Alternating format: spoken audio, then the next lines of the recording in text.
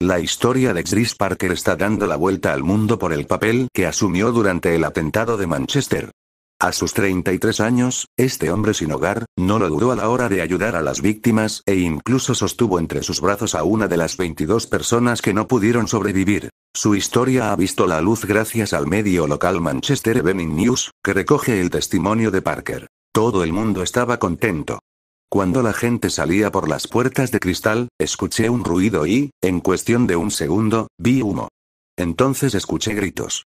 Me tiré al suelo y luego me levanté. En lugar de huir, mi instinto me dijo que intentara ayudar. En lugar de huir, mi instinto me dijo que intentara ayudar. Parker abrazó a una niña pequeña, que había acudido al concierto de Ariana Grande junto a su madre e intentó ayudar a una mujer anciana, de unos 60 años, que murió en sus brazos. No he parado de llorar, ha asegurado. Chris también ayudó a una niña pequeña que estaba perdida entre una multitud asustada.